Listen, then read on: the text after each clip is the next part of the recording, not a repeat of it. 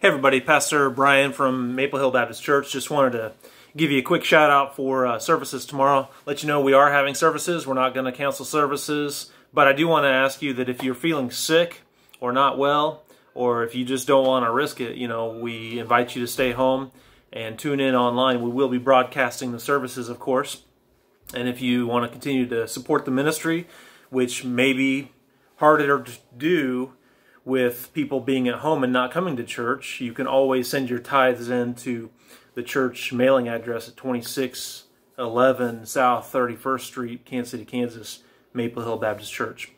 So, uh, with that said, we will be having services. I want to remind you to take care of yourselves. You know, personal responsibility for health is of the utmost importance. So, if you need vitamins, you know, wash your hands, um, stay safe. Um, and just to reassure you, we are going to be wiping down the church, you know, with disinfectant on the pews and door handles and all that kind of stuff, just to maintain a sense of cleanliness. And uh, they say godliness is cleanliness is godliness. And anyway, so just want to encourage you to come on out. Um, there will be some churches that are closed. That's okay. Join us, visit us.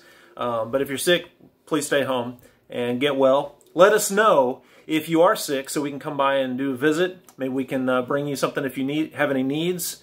Um, if you have some uh, trouble getting out, we would like to uh, try to meet any of the needs in the community that uh, you may have, especially within our church. So pray for one another, lift each other up, lift up our church, and um, we'll see you on Sunday morning, hopefully. All right, God bless. Bye.